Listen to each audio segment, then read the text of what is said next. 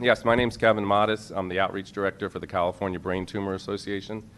And um, I spend my time full time um, here in Washington, D.C., educating legislators regarding the health effects, the biological and health effects from wireless radiation. And uh, part of our team is cancer epidemiologists, toxicologists, cellular biologists, all the people that um, the FCC do not employ. As a matter of fact, the FCC does not even have a health department.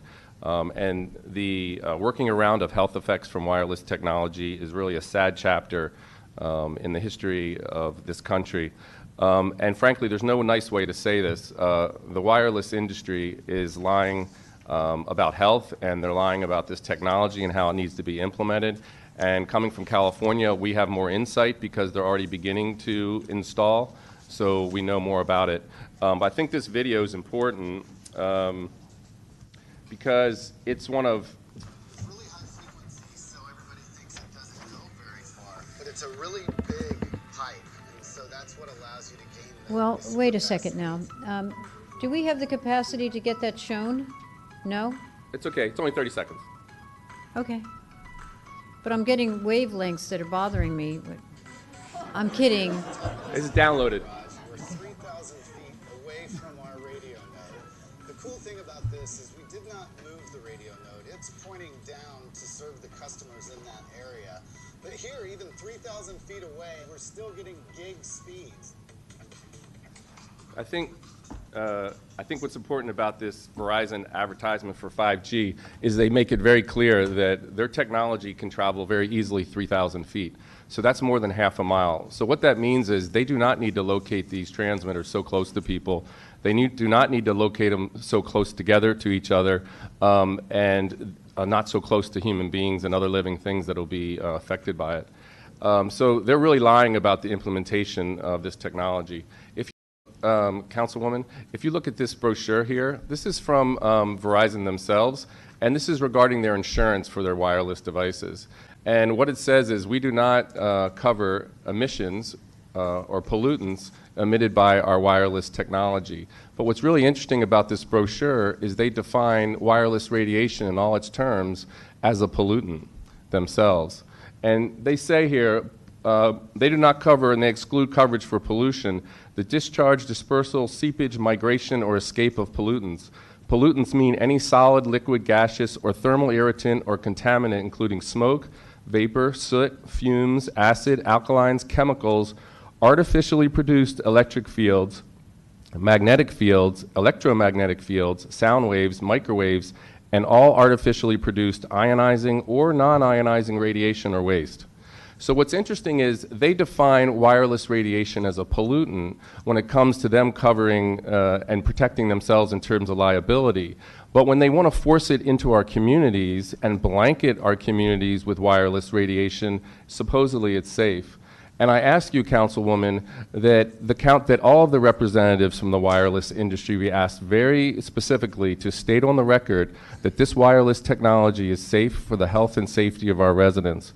I want that on record because, according to their own printed literature, that's not the case. And that's a big issue because working around health effects, known health effects, is really the MO. Whether it's the FCC order, which says that we have streamlining, so we don't want to consider health, environmental issues at all, um, so they can just work around it. And what really concerns me very much is that what we're not talking about is that we are talking about implementation, and that in the signing of the MLAs, the public was not included. The normal process was not included. Our elected officials were not included. That cannot be the normal due process in this city. But that's what's happening. And if people are really so eager to have this technology and it's so great, why not include the community's input? Why not have their input on what's going on? Now, another lie of the industry, and there's no other way to say it, is that these are going to be small cells and they won't be too bothersome to the community. This is in California. This is what it looks like when they, in- this is what it looks like upside down when they install. And what the plan is to be 4G. This is going to be 4G, and then they're going to put a 5G on top of it. And that's the power source that can be the size of two refrigerators. And you can see it's about 15 feet from this woman's home. There is no way this woman doesn't get sick, either short term with neurological or long term with cancer. Where is this picture? Could you, in Santa Rosa. Santa Rosa? Yeah, and it's in the, um, It's, you can find it in an article. I can send you the article. Okay. Um, but so w- what we have is the industry clearly lying to public representatives, should, which should outrage you enough that you stop the process and you start over again, because this is a forcing and workaround, and that is the MO. And what you need to understand is no wireless device, and 5G included, is safety tested before it's put on market. No antenna is safety tested before it's put on market. They only have to fall under an exposure guideline that is a thermal guideline only, which means you're only guaranteed not to be heated or burned by your phone or your antenna. Anything below that over time isn't covered, and that's where the real health effects are. The reality is, this is the greatest environmental and safety threat of our time, and instead of fighting back and pushing back, especially when we have safe alternatives like wired fiber optic to the home, we are spending millions and billions and just showing the way to the industry of taking advantage of us. This is when we need our representatives to represent. This is when we need our representatives to push back. And it can't just be you, it has to be the entire council. This is truly wrong. You can only microwave radiate people so much. And what you'll see in my packet is a report from the Army on millimeter waves looking at 350 studies showing clear biological effects below thermal, below our safety guidelines.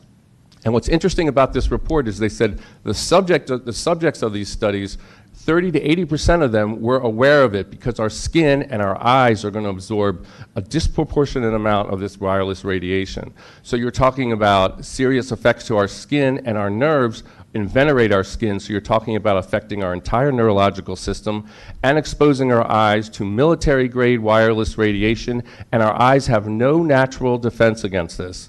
So you're talking about putting this in front of people's homes, forcing it into their um, rooms. This is absolutely absurd. We have video from the FCC proceedings with one of the 5G engineers saying themselves, look, we are forcing these, these directed beams into people's windows at, at levels that we do not allow in our labs, in our safety labs.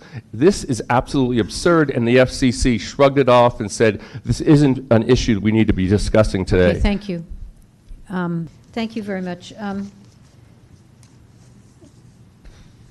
I, um, I really think uh, this committee is not in a position to evaluate what 5G, where 5G is in its development, until somebody clarifies that, uh, why we need it, and uh, when we need it. Um, I see you have your hand raised, I'm going to go to you next. Uh, And then on top of that, um, whether all of these limitations that uh, might be put on it are not feasible. Why not alleyways? Why not on roofs? Why not limitations in terms of where it's sited in any event? And will it really just enhance uh, communication on the street and not anything in the homes? Um, I think these questions have to be answered in addition to the ones about what other ill effects may be caused, but um, as yet, and I guess this is for our um, telecom companies when they come forward, but also, um, uh, Mr. Mottus, you have some views about this, so I'd like to hear them. Those are excellent. Those are- Uh, uh, Those are excellent questions. What's very important to understand is we already have 98% coverage in terms of communication between people. This is about the Internet of Things, things communicating with each other. And I would say we don't really need 5G. A matter of fact, most of the, the capabilities they're talking about for 5G can be done through 4G and maybe even better. There's great limit, limit, limits uh, in terms of the millimeter waves. That's why they haven't been used for decades. There's all kinds of problems with them. Um, in order for the millimeter waves to work, they're going to have to put tremendous force behind them. And this tremendous force, and that's why you saw that huge power source over here, um, uh, becomes very problematic because as you increase these powers, you have certain biological effects, none of which are being taken into account.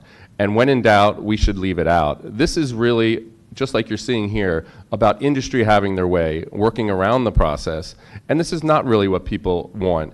And what you know is, uh, you probably know already, the National League of Cities is opposing uh, the small cells uh, rollout, as is the League of Mayors. So there are great concerns about this. The only ones who seem to really want 5G are the industry that are going to be benefiting. And how are they going to be benefiting? When they put a transmitter in front of your home, the, de- the design is it's going to be collecting data from up to 500 transmitters in your home. And they're going to be selling that data to the highest bidder, like they, Facebook does. This far, in terms of value, this far surpasses uh, the wireless services themselves. That's why they're willing to spend $300 billion rolling it out. But what it does in the same time is seriously and intimately violate your privacy.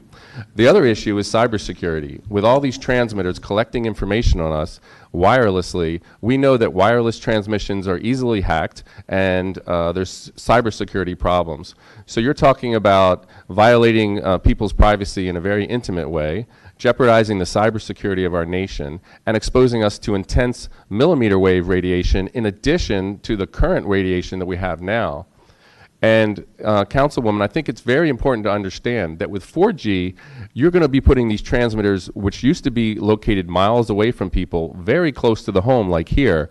And those transmissions are designed to travel miles. And the beginning of that trip is going to be going through residents very close by. These 4G transmitters have absolutely no place so close to people's homes. The 5G transmitters, uh, while they're designed for shorter transmissions, you could understand why they would be located closer, but not this close to humans. But the 4G transmitters, and while our studies show that wireless radiation is clearly carcinogenic, neurotoxic, and genotoxic, they only look at one source, and these studies are very carefully uh, designed to only consider one source. But what you're talking about here is now two sources, very strong sources, lower frequencies and higher frequencies, hitting people with a soup of wireless microwave radiation. So our bodies certainly are not designed to adapt to any of this. And the reason why low frequencies and these high frequencies are such a problem is we're electromagnetic. Our cells are electromagnetic.